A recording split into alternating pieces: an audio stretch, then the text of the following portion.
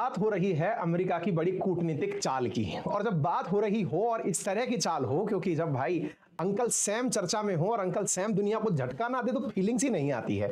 और ऐसी स्थिति में न्यूज़ निकल करके ये आ रही है कि इन्होंने सऊदी और रूस को चैलेंज करने के लिए तरीका अपना लिया है।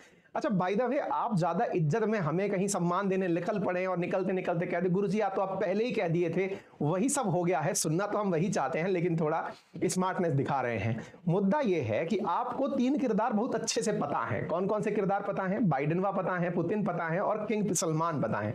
इनके बारे में यह भी बहुत अच्छे से पता है कि इन दोनों लोगों ने मिलकर के बाइडेन को बहुत दुखा लिया है। दुखा गाय लिया भैया? दुखा इसलिए लिया है क्योंकि तेल दुनिया की सबसे बड़ी दिक्कत है और इस तेल को यही दो लोग अपने हाथ में कंट्रोल किए हुए हैं। एक है ओपेक के नेता और एक है ओपेक प्लस के नेता।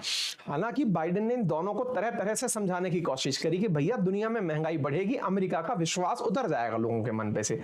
लोग माने नहीं। इन दोनों ने मिलकर के खूब तंग कर लिया। अमेरिका को अचानक याद आया कि यार, एक तेल का खजाना छोड़ के आए थे हम कहीं।